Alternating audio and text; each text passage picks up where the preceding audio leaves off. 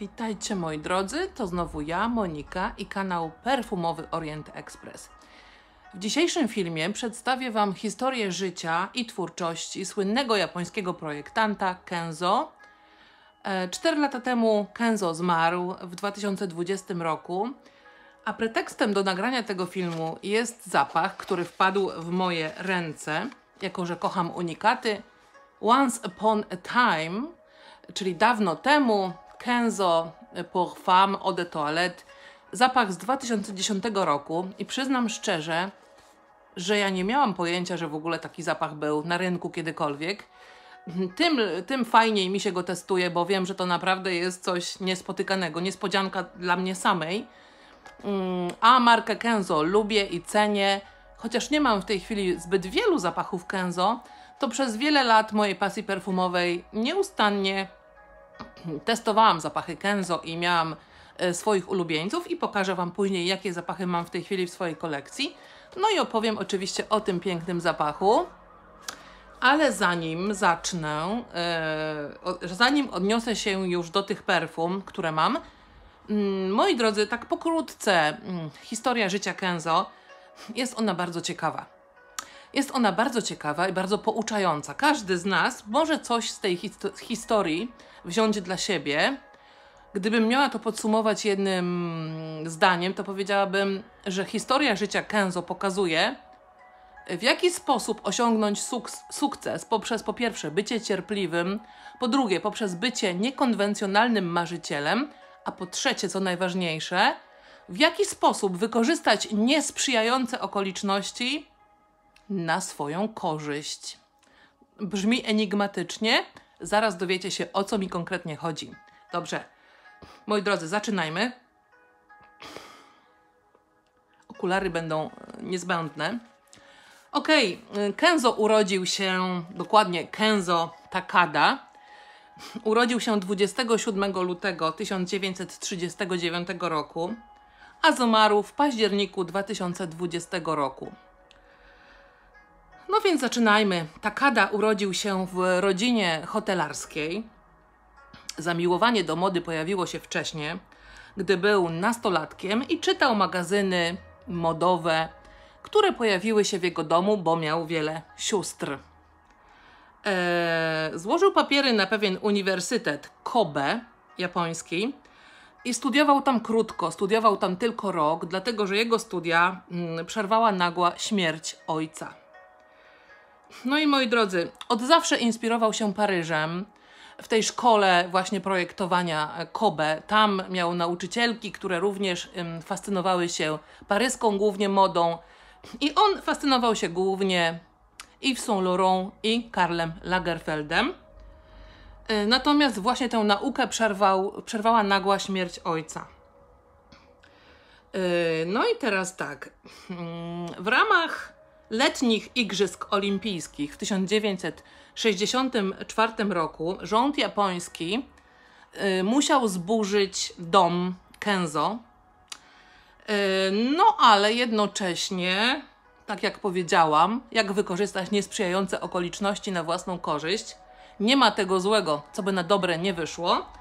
Kenzo otrzymał od rządu rekompensatę z tytułu zburzenia jego domu. No i właśnie pod wpływem pewnej nauczycielki z tej szkoły projektowania, e, za radą swojej mentorki, udał się na miesięczną wycieczkę do Paryża statkiem. E, ta wycieczka, ten, ta podróż trwała miesiąc. No i on między innymi przemieszczał, był w Hongkongu, był mm, w Bombaju, był w Marsylii. No i 1 stycznia 1965 roku przybył do Paryża. No i cóż, mm, miał ogromne marzenia o byciu projektantem, natomiast nie miał zbyt wielu pieniędzy. Jakoś tam próbował e, praktykować u innych, próbował się gdzieś tam zaczepiać, pracował w różnych miejscach, ale to nie były żadne słynne miejsca. Ale pięć lat później, w 1970 roku, e, na tak zwanym pchlim targu spotkał kobietę, która zaoferowała mu wynajęcie po niskiej cenie niewielkiej powierzchni handlowej w galerii Vivienne. Otworzył tam swój pierwszy mały sklep jako projektant. Tak właśnie zaczynał. Był cierpliwy, czekał aż 5 lat, zanim jakaś możliwość się otworzyła, prawda? I teraz tak, mając mało pieniędzy, bo tylko 200 dolarów, po prostu kupił na pchlim targu sporo takich, wiecie, skrawków materiałów. Kupił tanie materiały. E, to dokładnie był pchli targ, czyli tak zwany ryneczek na Montmartre. No i zaczął tworzyć swoją pierwszą y, eklektyczną, odważną kolekcję.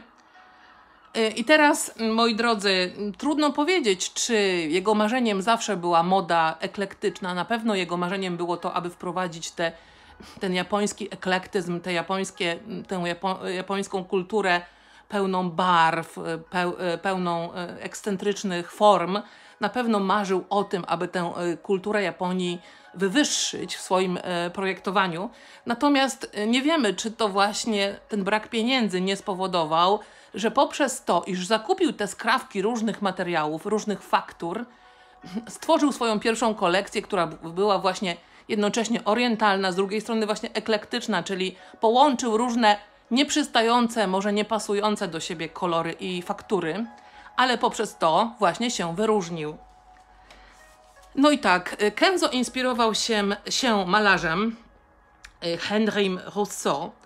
Y, no i pomalował swój butik, ściany swojego pierwszego butiku w takie roślinne wzory, kolory przypominające dżunglę. Tak, zapala się Wam już zielone światełko. Kenzo Jungle, słoń i tygrys. Tak, tak moi drodzy. Mm. Chcą, chcąc połączyć y, estetykę dżungli ze swoją ojczyzną, nazwał swój, swój sklep Jungle Jab, czyli właściwie japońska dżungla. No ale ta nazwa okazała się być kontrowersyjna, nie wiedzieć czemu i miał tam nawet, nawet pewien proces sądowy co do, co do tej nazwy. No i na szczęście francuski rząd jednak orzekł, że on może używać tej nazwy, że ona nie jest w żaden sposób upokarzająca dla Japonii Y, no i poprzez te kontrowersje też zaczęło, zaczęto o nim mówić, pisać. No i właśnie kolejna, prawda, trudna sytuacja, którą wykorzystał, obrócił na swoją korzyść. No i w roku 1970, dokładnie w czerwcu, magazyn mody L umieścił na swojej okładce jeden z jego projektów modowych.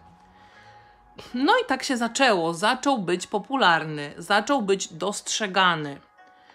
E, natomiast e, jego kolekcja z 1971 roku zdobyła już taką międzynarodową e, modową nagrodę i była pokazywana w Nowym Jorku i w Tokio, no i oczywiście w Paryżu.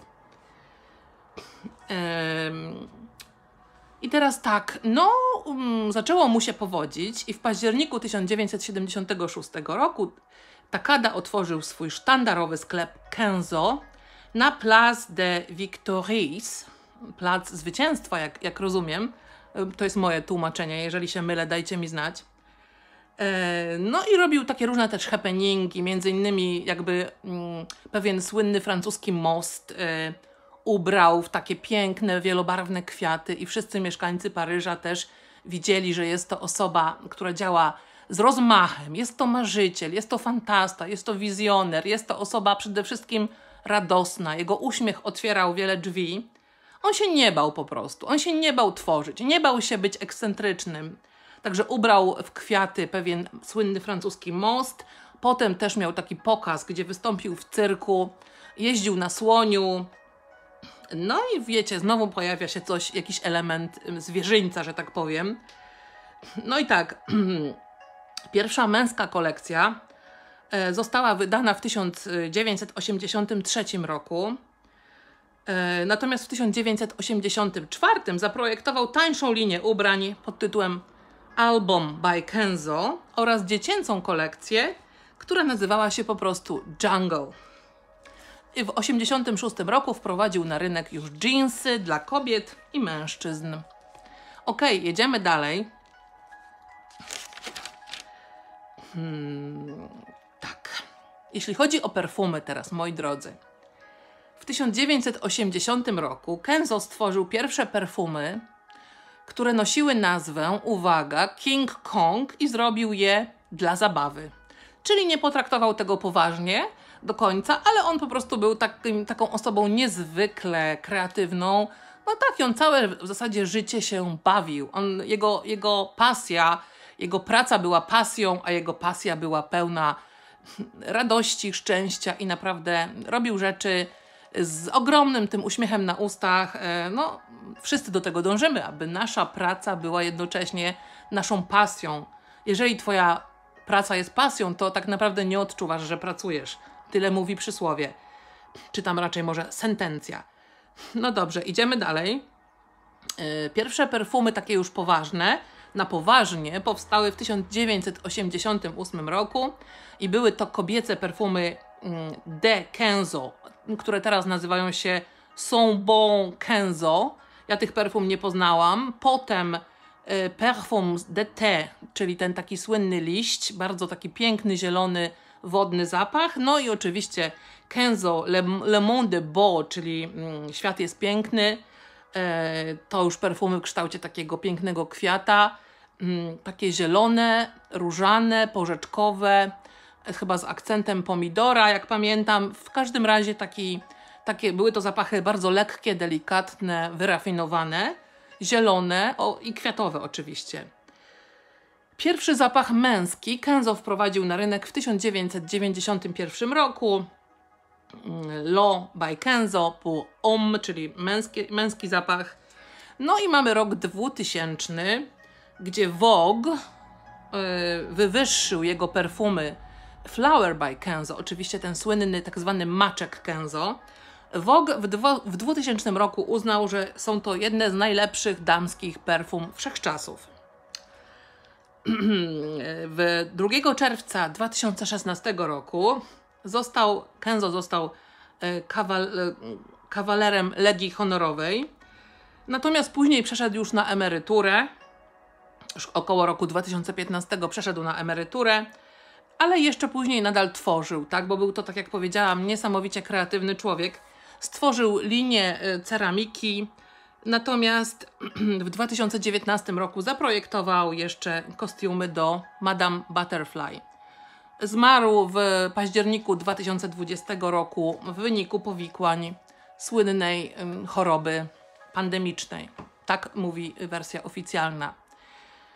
No dobrze, to teraz przejdźmy do zapachu, który mam. A, zapomniałam jeszcze pokazać Wam zdjęcia. Oczywiście mam tutaj takie książki o modzie, takie mm, leksykony mody. No i tutaj, żeby Was wprowadzić w ten klimat, o którym mówiłam, Kenzo tak cierpliwie podbijał Paryż i tutaj y, Kenzo w otoczeniu przyjaciół w latach właśnie tych 80. To jest oczywiście Kenzo i jego przyjaciele. I jeszcze jedno zdjęcie. Tutaj mamy polską modelkę. Moi drodzy, z kolejnej książki. Kenzo nosił w młodości długie włosy, potem takie półdługie. Był zawsze pięknie uśmiechnięty, a tutaj mamy właśnie ten eklektyzm, to mieszanie faktur, kolorów. Tu mamy polską modelkę. Zapomniałam, jak ona się nazywa w tym momencie, ale absolutnie do mody wprowadził właśnie tradycyjne ubiory hmm, kultury Japonii, takie proste formy, e, proste formy, ale wielobarwne, również oczywiście hmm, kimono, takie też e, garnitury, też szerokie spodnie lniane i tak dalej, i tak dalej. Jego moda była niezwykle barwna. No i ten eklektyzm widzimy tutaj, to łączenie różnych faktur, które jest jego znakiem rozpoznawczym Once Upon a Time, czyli dawno temu Kenzo. Ten zapach stworzyła w 2010 roku Christine Nagel. I co my tutaj mamy? o Boże, znowu kaszel, przepraszam. Mamy tutaj akord takiej przytłumionej róży, yy, drzewo gwajakowe, drzewo sandałowe, magnolie i frezje.